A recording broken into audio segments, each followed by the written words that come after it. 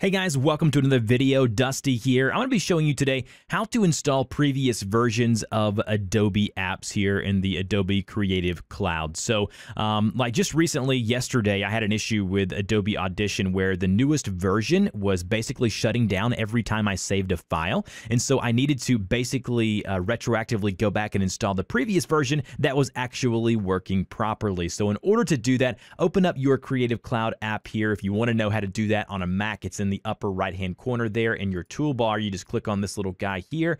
And then if you're on a Windows, it'll be down in the right hand corner. I'll show you a screenshot of that now.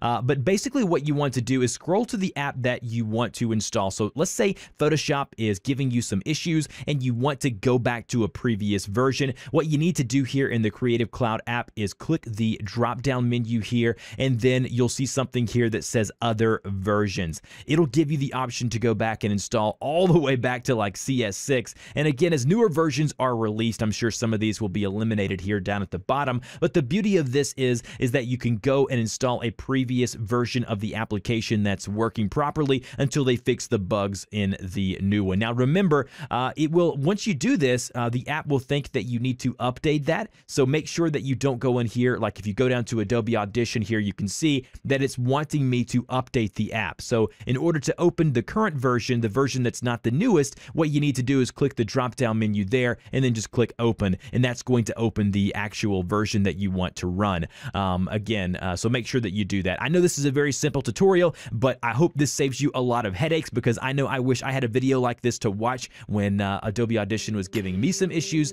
Uh, it's wonderful to be able to go back and to retroactively uh, install a previous version. I wish other software companies uh, allowed you to do that. Uh, so hopefully you guys found this helpful. If you did, hit that like button, share it with someone who you think may find this valuable, and I will see you guys in the next video.